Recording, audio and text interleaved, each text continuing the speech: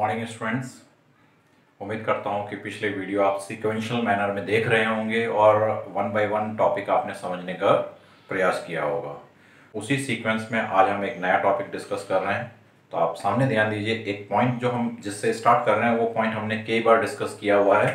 Suppose this A B is a wire okay and its first end is at V one potential second end is at V two potential now if v1 is greater than v2 in such case charge starts flowing from and at higher potential to the and at lower potential or we can say that current flows through the wire from one end to another end okay.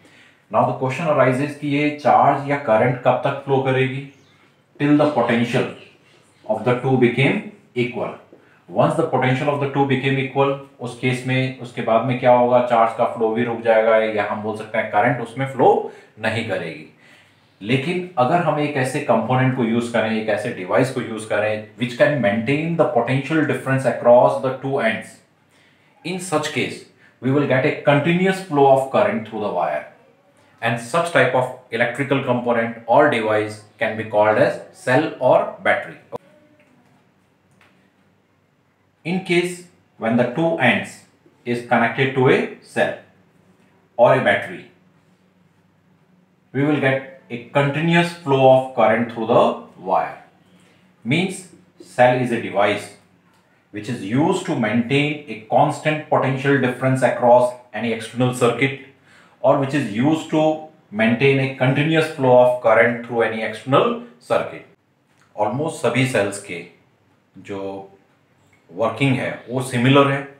Uh, in all cell the chemical energy of the cell it converts into electrical energy. Cells are of two type primary cells and secondary cell. Primary cell एक बार use करने के बाद में हम उसको फिर से यूज़ नहीं कर सकते. जबकि जो सेकेंडरी सेल्स हैं रिचार्जेबल होते हैं हम उसको रिचार्ज कर कर अगेन यूज़ कर सकते हैं. प्राइमरी सेल्स के एग्ज़ाम्पल है जैसे लेबोरेटरी में जो हम यूज़ करते हैं वो Leclanche cell and Daniell cell है.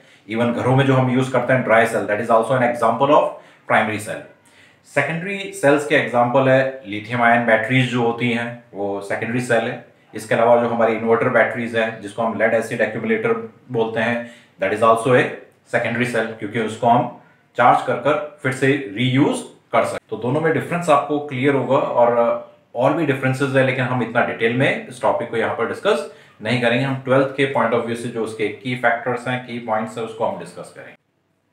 Every cell consist of two electrodes and these electrodes are dipped in electrolyte during the chemical reaction what happens potential difference develop across the two electrodes and that potential difference is use to maintain a continuous flow of current through external circuit तो यहाँ आपको एक uh, circuit नज़र आ रहा होगा और उसमें दो इलेक्ट्रोड्स हैं and they are dipped in electrolyte और उसके कारण एक केमिकल रिएक्शन के कारण दोनों इलेक्ट्रोड्स के अक्रॉस पोटेंशियल डिफरेंस डेवलप हो रहा है and when these electrodes are connected to any external circuit current flows through that external circuit, okay? Today, related to this, we have to discuss about internal resistance emf and terminal potential difference.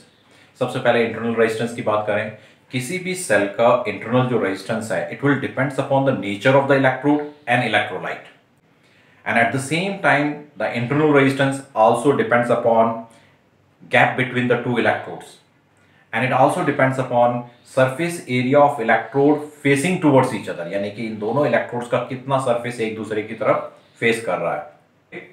अब यहाँ पर आप ध्यान दें कि as we increase the distance between the two electrode जो charge है, जो करंट है it has to cover a longer path through the electrolyte यानी आयंस को ज़्यादा लंबा पाथ फॉलो करना पड़ेगा तो रेजिस्टेंस बढ़ जाएगा। यानी internal resistance increases with the increase in gap between the two electrodes अगर इलेक्ट्रोड्स का सरफेस एरिया बढ़ा रहे हैं in such case internal resistance decreases surface area जितना ज़्यादा होगा इलेक्ट्रोड्स का, उतना ही इंटरनल रेजिस्टेंस कम होगा। इंटरनल रेजिस्टेंस के बारे में आपको समझ में आ गया होगा कि internal resistance is the resistance offered by electrodes and electrolyte okay and uh, now let us discuss about EMF of the cell. The full form of EMF is electromotive force. Full form of EMF is electromotive force. Books में अलग अलग definition आपको नज़र आएगी लेकिन हम सबसे simplest definition यहाँ पर डिस्कस करने वाले हैं तो आप ध्यान दें ये आपको सर्किट नज़र आ रहा होगा इसमें आपको नज़र आ रहा होगा कि external resistance is connected in series with a battery along with a key okay if key is kept open in such case the current through the wire is zero current through external circuit is zero and uh, current through the cell is also zero or we can say that no current is drawn from the cell in such case the potential difference across the two terminal of the cell is called emf emf की क्या definition होगी कि EMF is the potential difference across two terminal of the cell when it is in open circuit or when no current is drawn from the cell कोई current अगर flow नहीं कर रही है now if we close the key then what happens the current starts flowing through the external circuit and as well as current also flows through the cell now in such case the potential difference across the two terminal of the cell is called terminal potential difference means we can define the terminal potential difference as the potential difference across the two terminal of the cell. When it is in closed circuit or when current is drawn from the cell. And in this way we can define terminal potential difference. Emf is represented by letter e and terminal potential difference is represented by letter v. Now let us discuss the relation between emf terminal potential difference and internal resistance of the cell. Now look at the circuit. This external resistance is connected across a cell along with a key and EMF of that cell is E and internal resistance is R. Okay. As, uh, as the key is closed, current flows through the circuit. EMF जो है, it is the potential difference and terminal potential difference is also the potential difference across the two terminals of the cell. तो दोनों में difference क्या है कि EMF is the maximum terminal potential difference Means EMF is the applied potential difference when cell is connected to any external circuit तो in order to find the current through the circuit हम क्या कर सकते हैं current through the circuit can be written as total applied potential divided by total resistance of the circuit and total resistance of the circuit is equal to the external resistance plus internal resistance of the cell means R plus small r. From here we can write A is equal to I R plus R. E can be written as IR plus IR. Now look at this value IR. IR is the potential difference across the external circuit or external resistance. It is the potential difference across these two points. अगर हम connecting wire की length को बढ़ा दें तो this will be the potential difference तो potential difference across this circuit is Or potential difference across these two points is IR. Potential difference across these two points is IR. Means the potential difference across the two terminal of the cell is equal to IR in case of in case when the cell is in closed circuit. And this potential difference is called terminal potential difference जिसको हम किससे represent करेंगे V से so therefore, E can be written as V plus IR. From here we can write V is equal to E minus IR. This relation clearly indicates that terminal potential difference is less than EMF. Can you justify why terminal potential difference is less than EMF? ये इसके equal क्यों नहीं है इससे ज्यादा क्यों नहीं है तो आप ध्यान दें कि when this uh, cell is connected across any external circuit. In such case, the potential difference across the external circuit is to E minus I R this relation indicates that कि इस सेल का कुछ potential difference इस internal resistance के across develop हो रहा है इस सेल का कुछ पोटेंशियल डिफरेंस इस इंटरनल रेजिस्टेंस के अक्रॉस डेवलप हो रहा है that's why the potential difference across the external circuit is always less than the is always less than the applied potential difference which is equal to E. Okay, means V is always less than E. Now again from the relation आपको नज़र आ रहा होगा, V is equal to E I R क्या ये possible है कि V और E equal हो? Is it possible that V and E यानी कि टर्मिनल पोटेंशियल डिफरेंस और EMF of the cells are equal अगर पॉसिबल है तो किस कंडीशन में पॉसिबल है? तो इस क्वेश्चन का आंसर इसी रिलेशन में अब देखो कि V और E इक्वल कब होंगे? ये क्लियरली इंडिकेट कर रहा है, या तो I ज़ीरो हो, या फिर R zero means if no current is drawn from the cell in that case emf and terminal potential difference both are equal and second condition is that if internal resistance of the cell is zero even in that case terminal potential difference is equal to emf of the cell is it clear now, one more question arises. Is it possible that terminal potential difference is more than EMF? क्या किसी condition में ये चीज possible है क्या V E से ज़्यादा हो सकता है तो ध्यान देना प्राइमरी सेल के केस में पॉसिबल नहीं है क्योंकि उसको हम रिचार्ज नहीं कर सकते लेकिन जो सेकेंडरी सेल्स होते हैं जब उनको हम चार्ज करते हैं during charging of the cell we can write V is equal to E during discharging what expression we are getting V is equal to E minus IR.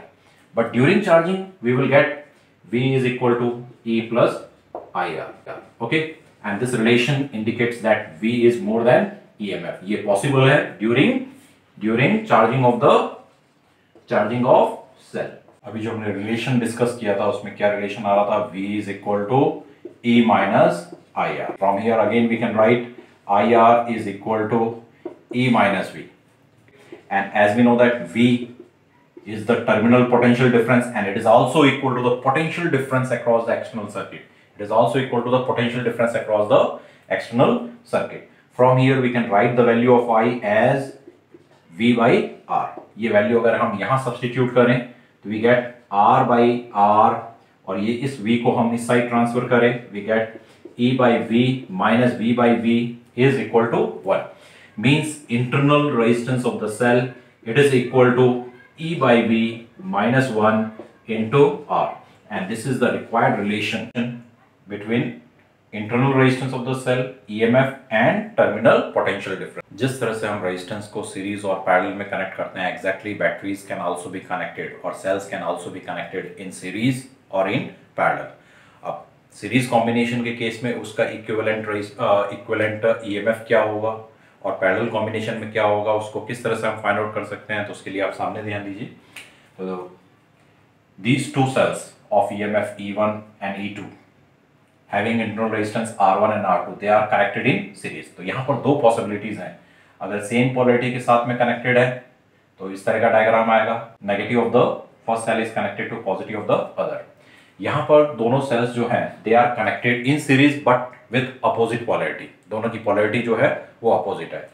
इस केस में net EMF it will be equal to E one plus E two whereas in this case the net EMF is equal to E one minus E two या फिर हम लिख सकते हैं E two minus E one depend करता है कि whether E one is more और E two is more as the two internal resistances they are in series as internal resistance are in series the net internal resistance is equal to R one plus R two even in this case the net internal resistance is equal to R one plus R two ये series combination के case में आपको समझ में आ गया होगा, दो पॉसिबिलिटीज हैं with same polarity and with opposite polarity internal resistance दोनों केस में सेम है but EMF is equal to in first case it is equal to E one plus E two whereas in second case it is equal to the difference in the EMF of two cells now if the two cells they are connected in parallel और उनका EMF है E one and E two and their internal resistance are R one and R two अगर उनको हमने pedal में connect किया हुआ है। अब यहाँ पर आप ध्यान दें I one is the current drawn from the first cell and I two is the current drawn from the second cell इस टॉपिक को स्टार्ट करने से पहले एक बार फिर से, जो थोड़ा देर पहले हमने रिलेशन डिस्कस किया था, उस पर ध्यान दें। क्या रिलेशन था? We know that V is equal to E minus I R from here we can write I R is equal to E minus V and from here we can write I is equal to E by R minus V by R. Now by using this relation for the two cells, as the two cells are connected in, they are connected in parallel, the terminal potential difference across them will be same. दोनों के across जो terminal potential difference होगा वो same होगा. Now for first cell, if we write, so we can write I one is equal to E one upon R one क्योंकि first cell का E M F E one है internal resistance R one है and what about terminal potential difference which is equal to V and it is same for the two cells, okay for second cell,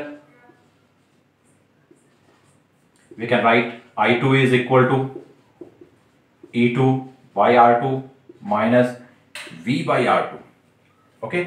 अब यहाँ पर आप ध्यान दें कि दोनों सेल्स किसमें है? पैरेलल में है। तो उनकी ये जो करंट है, ये करंट कंबाइन होगी and it gives a total current I तो अगर हमें टोटल करंट फाइंड आउट करना है तो it is equal to I one plus I two अगर हम वैल्यूज़ रखें और सिंप्लीफाई करें तो इन दोनों पार्ट को हम एक साथ ले लें तो we we get E one by R one plus E two by R two okay इन दोनों पार्ट को जब हम ऐड करेंगे minus sign common even V भी कॉमन आ गया.